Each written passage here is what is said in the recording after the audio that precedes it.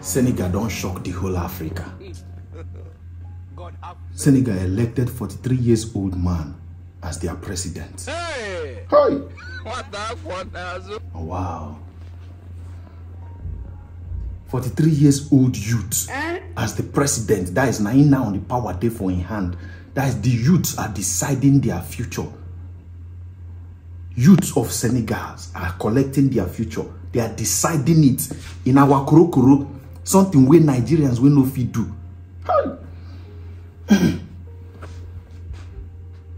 our own Nigerian youth man.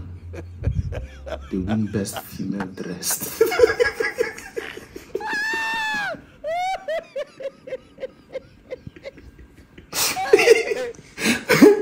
our own male youth. they win female best dressed.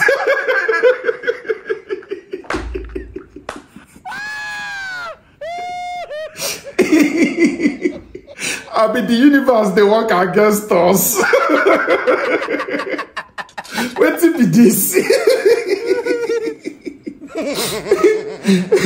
Nigeria nominate man among women for best dressed and na the man win am. no hear say they give Bobrisky the best female dressed as award.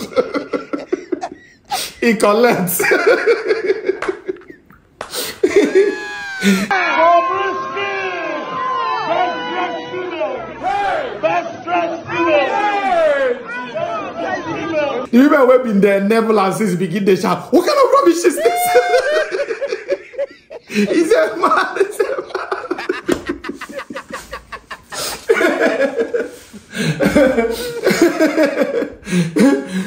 vex me be say na women dey enable these guys pass. Na dem dey first go, go, you are mommy of Lagos.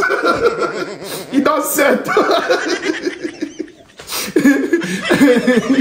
women wey dey shout equality now men don dey collect their rights.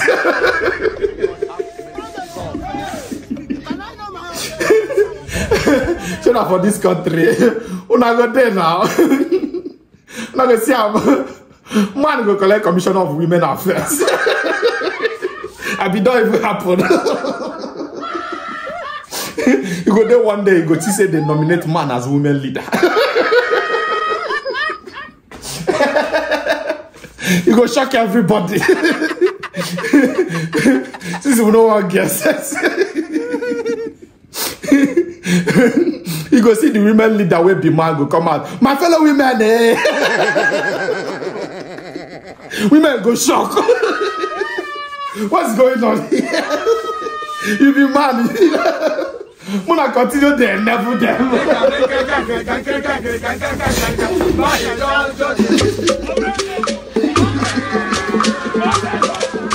Mamma mia.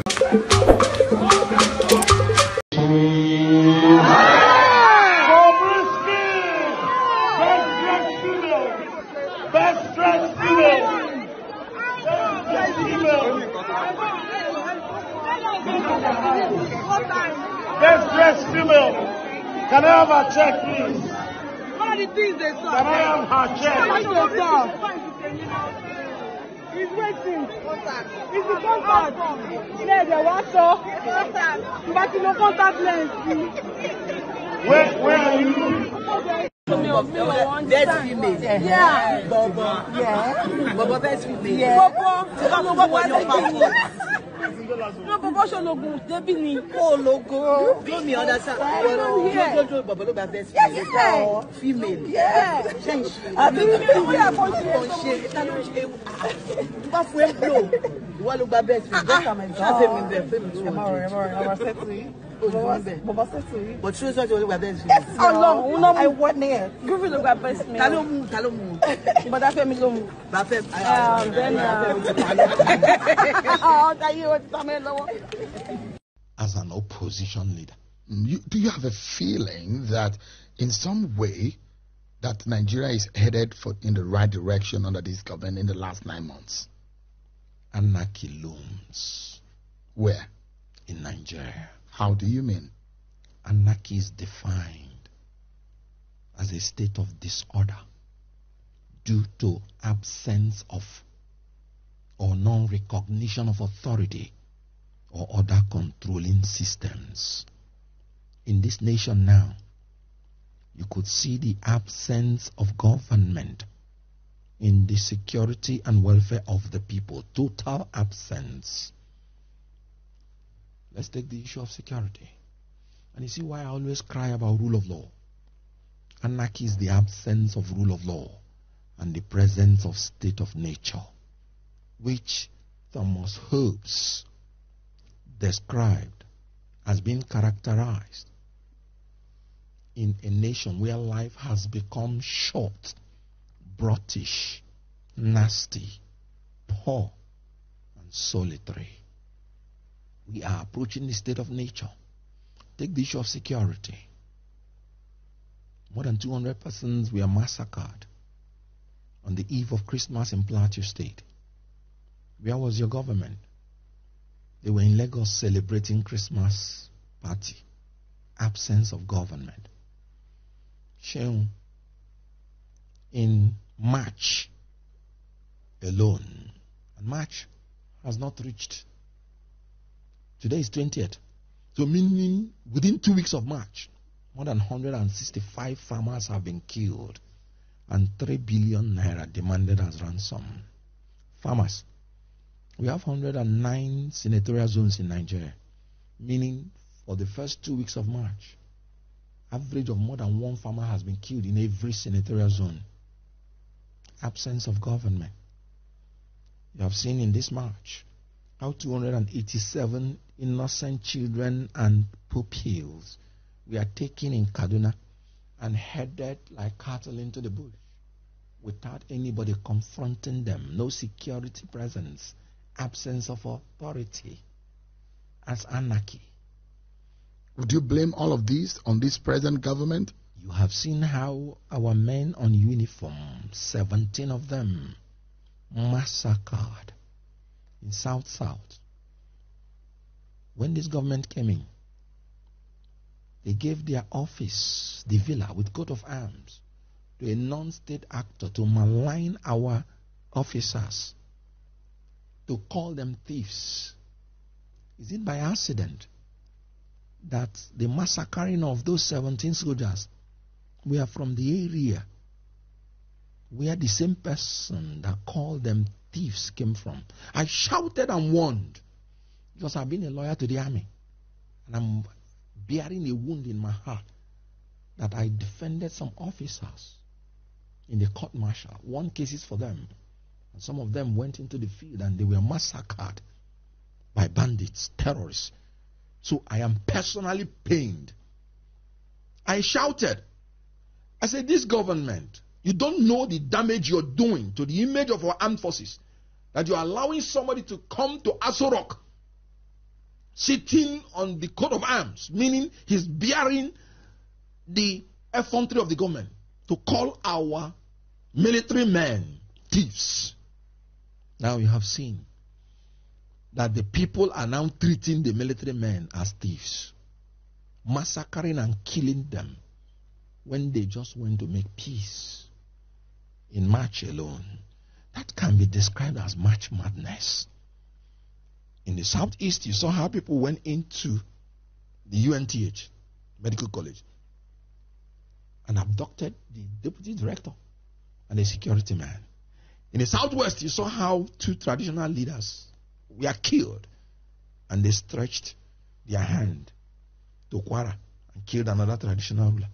In Sokoto, you saw the way they were kidnapped. In Borno, people go to IDP camps. I've just mentioned the six geopolitical zones where it's safe. In FCT, Nabeeha died. And this government, you see, these bandits do no longer recognize the authority of this government. That's why somebody has the effrontery to come out publicly and say, let me negotiate, let the government buy me to negotiate with the terrorists.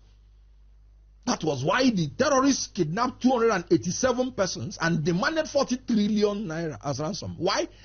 They are looking at themselves as the government. That is anarchy, non recognition of the authority of government. And we're talking only about security. You want to talk about the economy? And you will be amazed. And you want to talk about rule of law? The problem is that this government does not even articulate its policies before bringing it out. Look at the student loan scheme. A government on its own prepared the law, took it to the National Assembly. The National Assembly, it's not only appointees that take a bow and go, even legislation take bows and go. The National Assembly, the photocopy, National Assembly, allowed the student loan scheme to take a bow and go. And the executive now discovered that they could not even implement it because the provisions are unimplementable. And nobody in the National Assembly even pointed it out. The executive had to go back to National Assembly to write another bill. Student loan scheme. Their own policy. The bill was from them. And they confessed it was unimplementable by their own letter. Within nine months. And the bow and go National Assembly.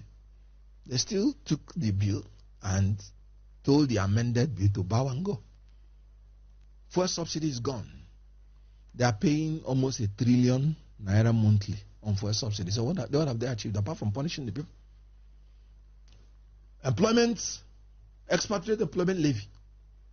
They introduced it without even consulting MAN, Manufacturers Association of Nigeria. They have now removed it. They sanctioned Niger Republic. Ill-advisedly punished the whole eight northern states, predominantly Muslims, the Muslim Muslim ticket. And after nine months, they removed it. The Republic said, No, we're not ready yet. You know why? Because you may have the right to declare when a war will commence, but you will not have the right to declare when it ends. This government is bereft of knowledge. That is why before you declare war, you would have to analyze how it will end and know whether you can go in. Nigeria is not Lagos where you sit down and you decree things and you expect it to work that way. Nigeria is a multi ethnic, multi religious, multinational society. And you have to factor in every interest. And you have to employ the utilitarian school of thought in your decisions and law. And this school of thought says you must look at how you will achieve the greatest happiness Of all. for the greatest number of people whenever you want to make a policy. So if you are doing any policy that has six geopolitical zones, your aim is four geopolitical zones and above. This government, in terms of appointment, is just concentrating, not even on Southwest, on the Lagos axis of the Jagabanic proteges, tainted with the Emilokan philosophy. Just that axis alone. And you're thinking you want to command loyalty, national loyalty? You won't even get it from Southwest. You want to command national loyalty? As a management student, they taught me about bureaucratic sabotage. This government is going to have an avalanche of it. Now, bureaucratic sabotage means, for instance, I am a director in a company and I'm coming to my office. There is a bottle, broken bottle that I just saw. I know if I leave this bottle, it's going to pierce somebody and wound somebody. But I also know that I am not the cleaner. It's not my duty. So if I pretend I didn't see it, nobody is going to hold me responsible. But I just sabotage bureaucracy because that bottle will wound somebody and the image of the organization will not be done. So people will not sabotage you when they have a sense of belonging and when they have a sense of loyalty to you. So it is not every sabotage that is illegal. There are some sabotage that is inspirational. People will like, why would I die for this government? Why would I do this? It's not my job. But they needed to do it to help your government. That's why we need inspiring leaders. Leaders that can make people to do something that is right, even when they are not there. Is that why you supported Peter Obi? Absolutely. You think Peter Obi is better than what we are having today? An inspiring leader. There are those who believe that Peter Obi does not even measure up. He was there in Anambra State. Those who say you cannot compare Anambra and Lagos State, if that is the indice. Good. You can compare the policies. You can compare the environment. When Obi came into Anambra State, Anambra was coming last in education. The governor, governor of Anambra State, the former governor, Chinwoke Mbadinuju, was the only governor that PDP did not allow to return for the second term. Only. So you can imagine the level of of debt that Anambra State was suffering. People were massacred on the street, including the chairman of NBA. Security was terrible, infrastructure was comatose, education was appalling. Peter came in, turned the whole situation. Within two years, three years, Anambra was coming first. The medical facilities, golden. Infrastructure, superb. He changed it from consumption to production. That even some of his opponents that don't know what they say, they're accusing him that he invested Anambra State money in some companies that are yielding something for Anambra State today. He met nothing in Anambra State. He saved so much that the subsequent governor used part of it to build an international airport by his own confession. You don't compare gold with carrots. Is that what you would say between Peter Obi and Bola Tinubu? That those who say Anambra does not measure up. You can't measure Anambra and Lagos State by every standard. You know, when you want to judge a man, you judge him by his antecedents. You know what happened in Lagos? The Emilokan philosophy is familitocracy. Have you ever seen Peter Obi receive any land in Anambra State? He rejected every land, including the one he's entitled to. Go to Lagos State. You know better than myself. Some people describe the owners of Lagos as the largest landowners in the whole of West Africa. Go to Lagos. The same dynasty has been ruling from 1999. Wife, senator, daughter, Yagbegbe, son. Even in as the leader of Nigeria, the same pattern. I mean, you're you're making allegations of nepotism. That's It's what not you allegations. The facts are there. that this government is nepotistic. Something worse than nepotistic. Is that fair to say? A militocracy. You know what it means when you place your children in order of protocol before ministers of the Federal Republic of Nigeria? What do you call that? What do you call that? I saw. What is that? You know what it means when you put your wife at par with the Vice President of the Federal Republic of Nigeria in terms of manpower, in terms of security? Have you seen a Michelle Obama being involved in the political process of America? Let me tell you, I thought Buhari's regime was going to be the worst. In nine months, this government has surpassed it. Let me tell you, this government started from the man himself to the wife to the sons, using the private jet to attend parties, desecrating the hallowed chamber of leadership. Talk about the daughters, talk about the sons in laws, the daughters in laws. Then, before you go to the daughters and sons of friends, what do you call that? What leadership system is that? It's a country that has six geopolitical zones and you're just appointing only the people from that your little clique, and you're expecting loyalty. This government, Mr. Okonkwo, said, look, we're making some policies. They might be painful in the moment, but it's going to be like the pangs of childbearing. In the end, it's going to be some joy. Are you hopeful of the possibility that this process is just momentary? At the end of the day, there's light at the end of the tunnel. in all of these policies that this government is putting in place. If your wife is pregnant and after the pangs of childbirth, she gave birth to a monster, would you rejoice? All their policies have been giving birth to monsters, not children. You told us first subsidy is gone.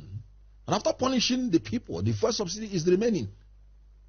What have you given birth to? Monster. You told us you're unifying the dual foreign exchange. And after a while, Naira has become worthless. Even less valid than the CFA. And you again, you're telling us, no, that's not the true reflection of the value of Naira. And you are the one who voluntarily devalued the Nigeria, uh, Naira to that level. Is that childbirth? No. That is a monster. You told us that you're imposing sanctions on Niger Republic so that they would go back to democracy. Have they gone to democracy? You lifted the sanction. What have you achieved? You punished the eight states of the north from Kebbi to Sokoto to Zamfara to Jigawa to Katsina to Yobe to Boronu. You brought all of them, punished them immensely, and after eight months without achieving anything. Is that childbirth? No. Childbirth is that you gave birth to something new. When thesis and antithesis meet, they give birth to synthesis. That is something new. Childbirth. Not when you finish punishing the people and you go back to a situation that is worse than they were when you started the policy. That is monster. So this government, sorry, the pangs of childbirth have been a punishment. You're telling people to be patient. And you're wearing a watch worth of millions while you're telling people to be patient. Is that childbirth? You're telling people to be patient. You say you want to, uh, you know, implement Oronsaye report. And you have 48 ministers. Even Murtala Mohammed, when he became head of state, and the first thing he did was to purge himself. To say, look, this, this, this is not right. I'll start with myself. If you want to implement such things like Oronsaye, start with yourself. Oronsaye is about cutting the cost of governance. So where is the childbirth in this? No, it's not childbirth. It is monster. I can tell you, with all the pains in a woman, if she gives birth and she discovers she has given birth to a monster, she herself will run away. Nigerians are running away from these so-called policies because they are simply punishing the people for nothing. 2,000 naira for a dollar, and you say it's a childbirth. No, it's a monster. So you don't believe there is hope? I've always said there is renewed hopelessness. That's what I am seeing. Why are you so pessimistic? I am not pessimistic. That's the best optimism you can give so that they can even see whether they can change. When they removed first subsidy, I say reverse it that day. And they said I was pessimistic. What's happening today? Why people did not die of hunger then was they had savings. And then they deceived them that over a little while, these things will be okay. They are no longer deceiving them. They finished their savings. It's not okay. And you see, they've already started preparing their mind that look, oh, even if the refinery start working, that does not mean the price will fall. Then what is the childbirth that you have given birth to? That's a monster. You just gave birth to a monster. You perhaps have in your mind that if Yes. Peter Obi was the president, things would have been different. Things would have been sweet. If Peter Obi was the president. Yes. Because when Peter Obi tells you sacrifice, you will see the sacrifice by himself first. But you supported a Buhari Yes. got into office. Yes. There are those who believe that Buhari government led us into this mess. Good. Buhari's government was good from 2015 to 2019. And now, you know, you grow every day. That has taught me about the need for the independence of the legislature. Buhari's government were they were not allowed to borrow against the law because there was a Saraki and Dogara who were independent of the executive in 2015 to 2019. That was when you had Boko Haram was technically defeated. Everything was moving towards the right direction. I entered APC 2016. So the last duty I did with APC publicly was 2018. After 2019, and we had the rubber stamp National Assembly, that was when everything went sour. The 22 trillion naira you are hearing, ways and means, most of them were done within 20, uh, uh, from 2019 to 2023. Everything evil. That was when everything went haywire.